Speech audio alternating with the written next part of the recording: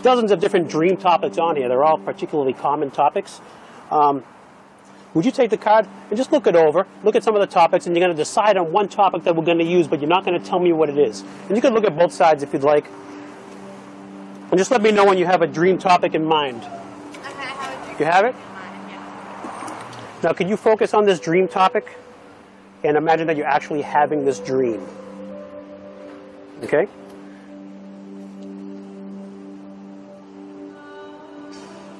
Could you hold your hand up like this? You Is it okay if I touch you? Now, right away, this is sort of a uh, like a darker dream than most people would have. It's not like a happy fairy tale type of dream that I would expect you to have. Does that make sense to you? Can you think of one of the images in this dream? Just focus on that. Yeah. Okay, now I see I see there's multiple images here. There's sort of some are hovering. Does that make sense to you? And it's getting darker in the background. Are you dreaming about demons? Yeah. That's so weird. Wait, I want to do that. So focus on this dream topic and imagine this dream is happening in your mind. Okay. You have that?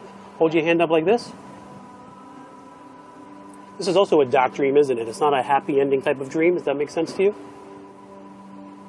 Can you focus on anything happening in this dream? I see like a hole opening up in the ground. Does that make sense to you? There's like a pile of dirt around there. You see that? And there's something being put into the ground. Are you dreaming about death?